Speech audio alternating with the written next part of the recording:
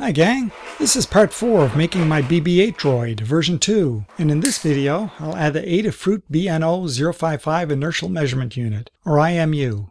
As you can see, when my BB-8 droid stops, it wobbles back and forth quite a bit, in the direction it was moving.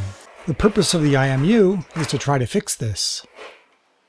An IMU, or Inertial Measurement Unit, basically tells you how the sensor is oriented in space. This one tells you a lot of things, such as the orientation using Euler vectors and quaternions, the angular velocity in all three vectors, and other things. I'm going to just use the orientation. In other words, how much the board is tilted this way, and this way. I'll use one of the Euler angles. I won't know which one until I install the board on the BB-8's drive system and try it. The board comes like this, along with a set of male pin headers. I put the headers in a breadboard to get them nice and straight up and carefully solder the board to the headers. I prepare a piece of perf board with some mounting holes. I also prepare and plug some female pin headers into the IMU board, and hot glue them to the perf board. I also add another female header with seven holes. I then solder wires between six of the pins going to the board to six of those holes. Those are for VIN or voltage in, ground, SCL, SDA, reset, and int though I won't be using reset and int. But I said it's a 7-hole header. I soldered a wire between the VIN and another hole so that I have two VIN holes. More on why in a minute. By the way, this is what I looked like while soldering, looking like Deadshot from the DC Universe with my makeshift magnifying lens on one eye.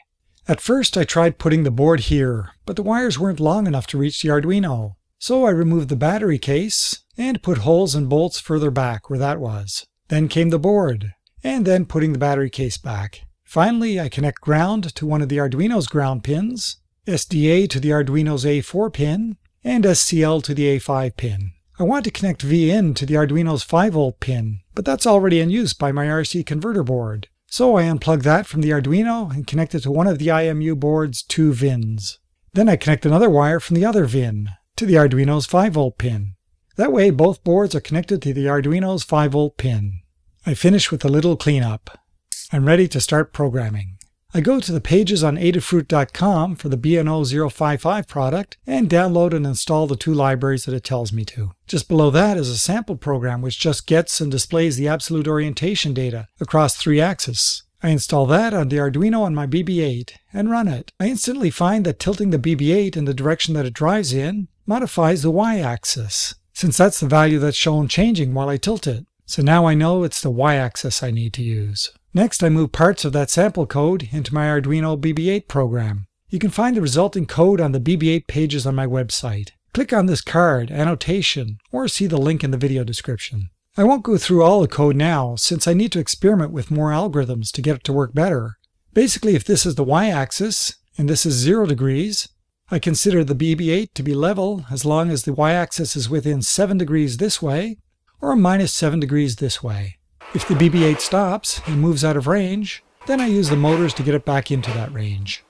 But the first time I ran this code, I chose an unacceptable angle, just 3 degrees. When I did that, I got a lot of movement when it was leveling. So I tried 5 degrees, and it was better. Eventually I figured that 7 degrees worked best, though it wasn't much different than 9 degrees. But I figured a test in the ball with the head on would tell me more.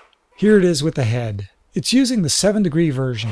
I've tried a few algorithms, and as you can see it still needs work, but the back and forth wobble is pretty much gone.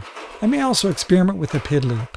Part of the problem too may be that the rollers under the head just slide, not roll.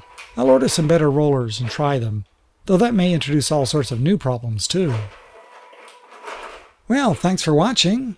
See my YouTube channel for more fun videos like this. If you want to help support these videos, then you can through my Patreon page, or you can go to my website and donate any amount you want. And if you like these videos, don't forget to subscribe, give a thumbs up, share with your social media, or leave a question or a comment below. See you soon!